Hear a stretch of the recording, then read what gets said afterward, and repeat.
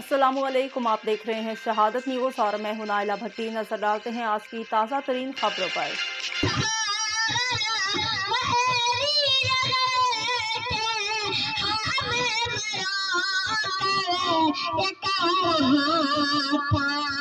आइए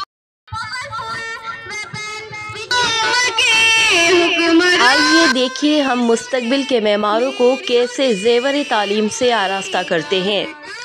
निसाबी और गैर निसाबी सरगर्मियों से हम इनके जहनों की इस तरीके से आबियारी करते हैं कि कल को ये बच्चे अच्छा मुसलमान और अच्छा पाकिस्तानी बन सकें।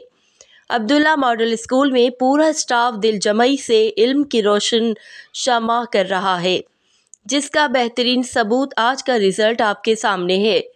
अब्दुल्ला मॉडल स्कूल अरसा बीस साल से मशीनरी जज्बे के तहत अपनी इल्मी खदमात जारी रखे हुए है, जिसमें नादार बच्चों को ना सिर्फ़ फ्री तालीम दी जाती है, बल्कि उनको कोर्स भी मुहैया किया जाता है। इन ख्याल का इजहार principal Abdullah model public school, Sara Bandi, Lahore बेरोट, Abbottabad ने तकरीब तकसीम इनामात की शानदार तकरीब से खिताब करते हुए किया। इस तकरीब में नुमाया पोजीशन लेने वाले बच्चों में इनाम तकसीम किए गए। अब्दुल्ला मॉडल पब्लिक स्कूल में सालाना प्रोग्राम के मेहमान खसूसी, captain Umar Shaheed secondary school के सीनियर टीचर मोहतरम शराज अब्बासी थे।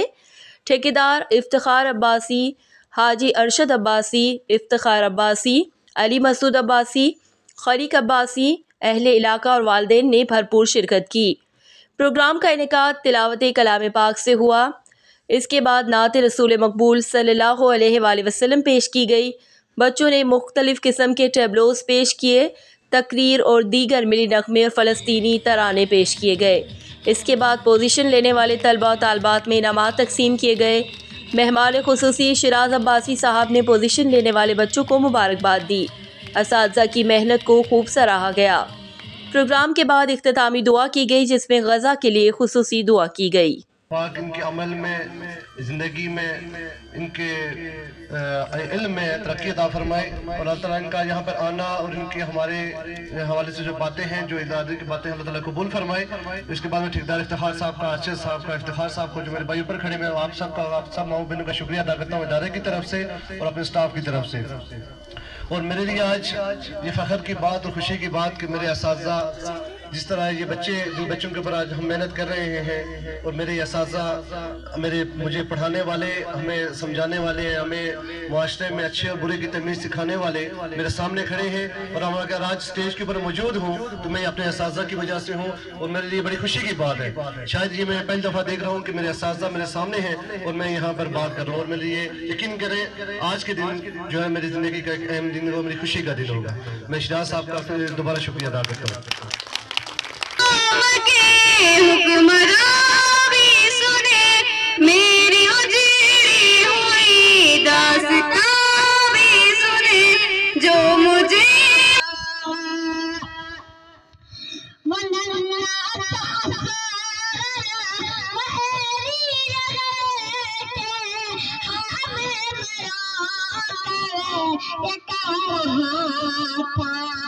बाबा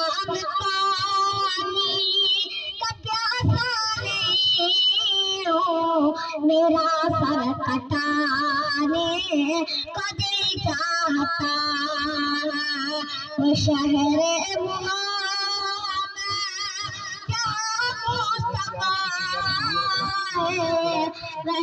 घर बनाने को दिल चाहता